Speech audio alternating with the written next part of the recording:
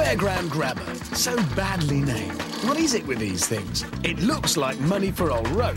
Coins in, the claw hovers over a tempting prize, you're in position, and down it goes.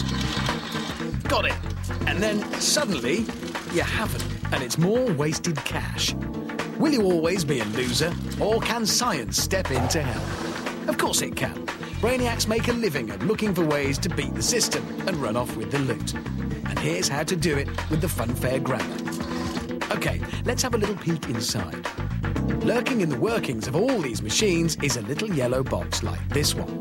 With your cash. It operates with two settings. It tells the grabber how many times it should pay out and also how hard it should grip the toy. If you want to win at these machines, you're going to have to beat the yellow box.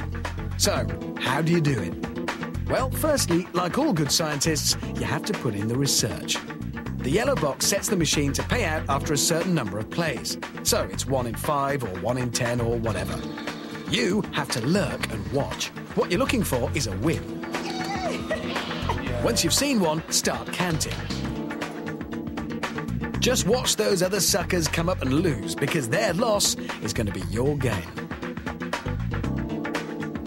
Once there's another win, you know the magic number. That's the yellow box setting. Now all you have to do is count up till you know when the next win's due, and then in you go. But it's not over yet. Remember that other setting, the strength of the gripper.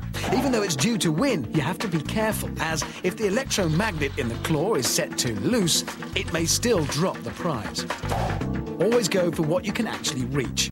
And don't play an overfull machine, or you may still lose. But get it right, and the loot is yours. Brainiac Funfair Science, helping you beat the system.